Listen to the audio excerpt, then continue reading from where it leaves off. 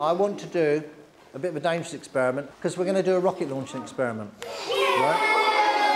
First thing, here we go. See how many pumps I'm going to need. One, two. Right, well that was a bit rubbish, wasn't it? Baby bottle went there. Mummy bottle, remember, is heavier.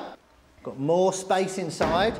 We've got a bigger skin. So, I wonder how, whether that's going to make a difference to how far she can go. Hands up you think she's not going to go as far. Hands up you think she'll go about the same as the baby bottle. And bonk him on the head. Hands up you think she'll go further than the baby bottle. Okay, let's see if you're right. One. One two, three, four, five, six.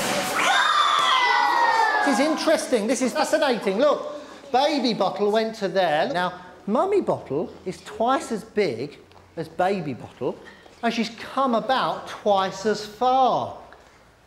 So, daddy bottle is twice as big as mummy. Yeah. So where do you think he's going to go? I've got a bad feeling about this.